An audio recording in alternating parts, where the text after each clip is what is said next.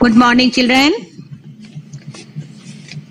जैसे मैंने आपसे कहा था कि आपका सिलेबस जो है थर्टी परसेंट कम हो जाएगा तो वो मैंने आपको सारा सिलेबस आपका बता दिया है।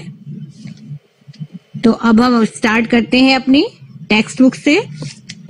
Our first lesson is a girl with a basket written by William C Douglas तो थोड़ा सा हम राइटर और लेसन के बारे में जान लेते हैं that will help us for our reference in context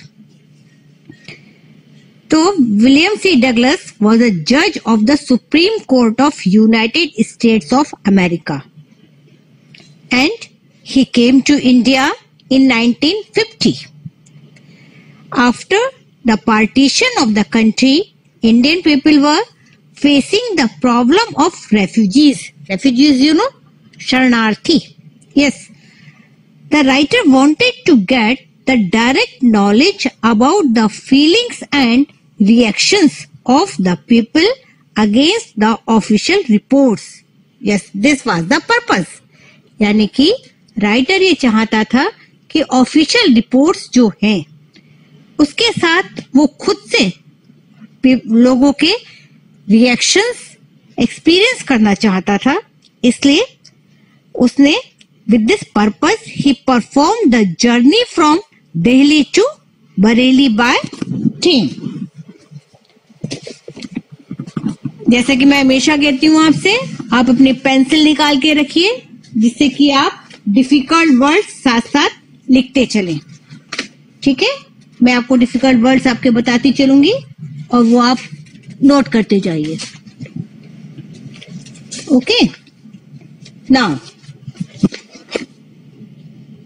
I had left New Delhi for the Himalayas. I had left. This lesson is in which person? Yes, first person. The complete lesson is in first person because here the writer is sharing his own experience. So he is using first person. I had left New Delhi for the Himalayas. According to the writer, yeah, in other words, we can say that the writer is saying that he had left New Delhi for the Himalayas. He started his journey from New Delhi to Himalayas. I was going as far as Bareilly by train. I was going, which tense is this? Yes, past continuous. अब going as far as as far as as far as means wherever it was possible जहाँ तक संभव हो सका। तो the writer was going as far as it was possible for him by train to Bareilly and then by car to Ranikhet and after completing his journey up to Bareilly he started his journey to Ranikhet by a car. Uh, now about Ranikhet an old British Army hill station. The writer describes about Ranikhet that Ranikhet is an old British Army hill station located, located, located means yes, situated. That is situated on a 6000 foot ridge. 6000 foot ridge. This means a long narrow chain of hills. Yes, a long narrow chain of hills. The writer here is describing the geographical situation of Ranikhet and he says that it is an old army hill station that is situated on 6000 foot ridge opposite a 120 mile stretch of snow capped Himalayas.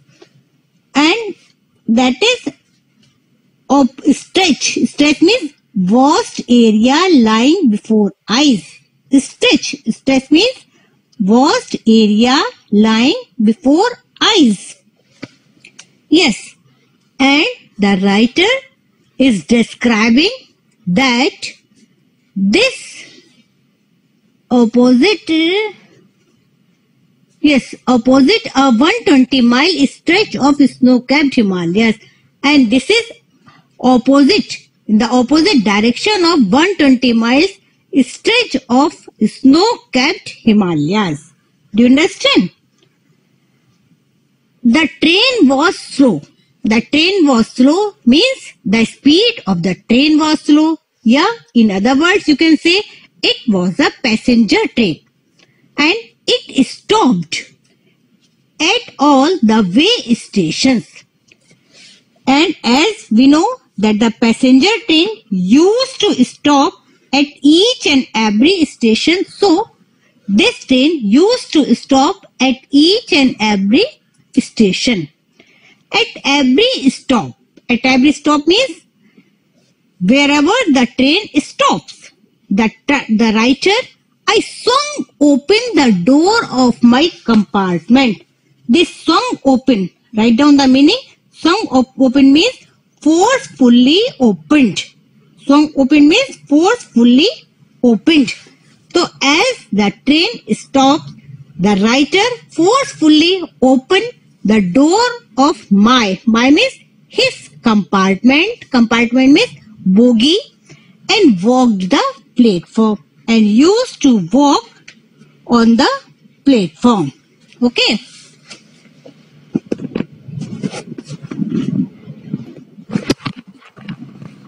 The platforms were packed with people.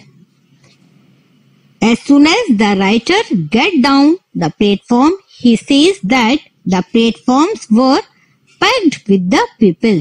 People were gathering on the platform. And they were Sikhs Muslims, Hindus, soldiers, merchants, merchants you know, yes, businessmen, priests, porters. Porters you know? Coolie yes beggars hawkers. Hawkers you know? Potters. Ferry wale almost everyone was barefoot. The writer is describing here the scene of the platform. And he says that the platforms were filled with the group of the crowd of the people.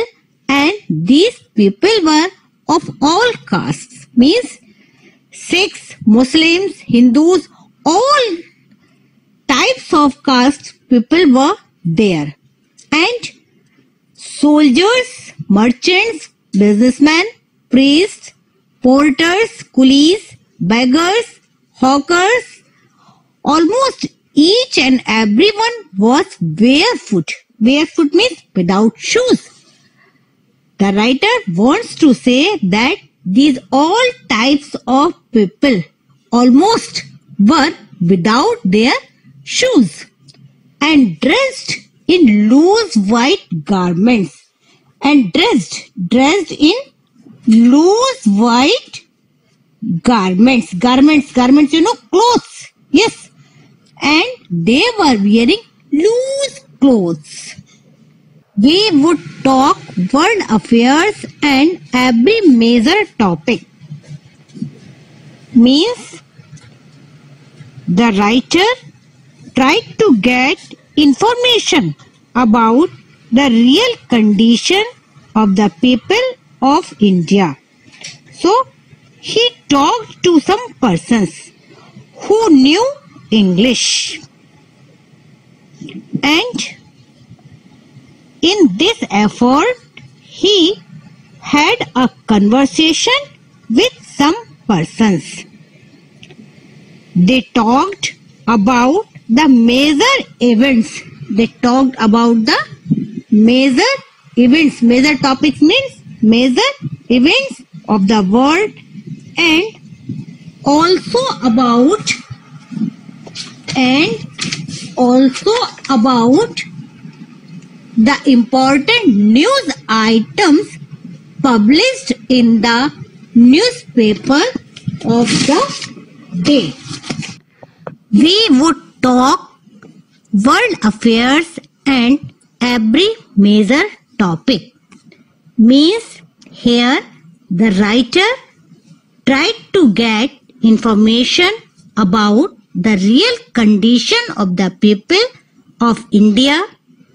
So he talked to some persons who knew English. In this effort, he had a conversation with some persons.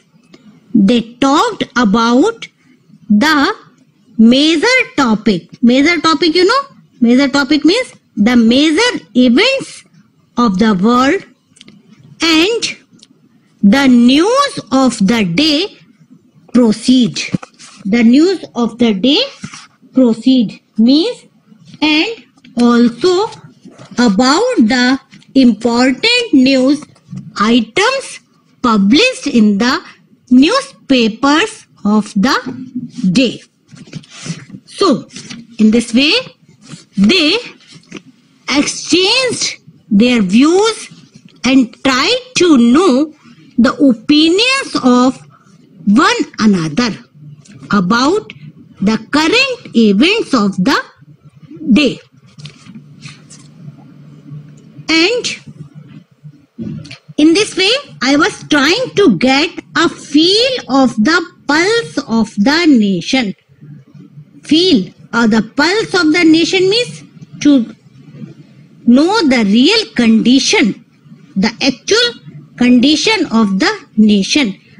Checking opinion against official attitudes and reports. Yes, this is the main point.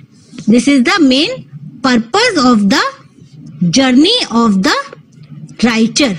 Means, in other words, we can say that the real purpose of the author was to know the feelings and reactions of Indian people.